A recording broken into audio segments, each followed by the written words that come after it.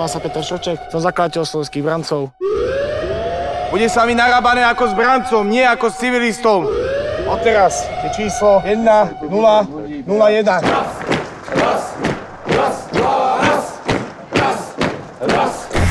Čo najčastejšie používa vo svojej reči panovačný človek? Vždy rozkazuje druhým, používa rozkazy. Raz! Som asi panovačný, ja dosť rád rozkazujem. Ja branec rodoverný. Ste stále vysokoznačky Slovenskej republiky. Nie, nie.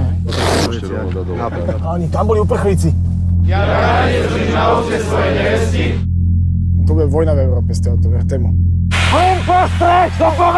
Musíme byť v každodennom živote, musíme byť na očiach stále. Iba tak eh, sa nám podarí preraziť. Vydržím! Jak si môže pokročili? Zabudnú zbraň! Branec. Branec. Chcete vyzerať ako nejaký politik, hej?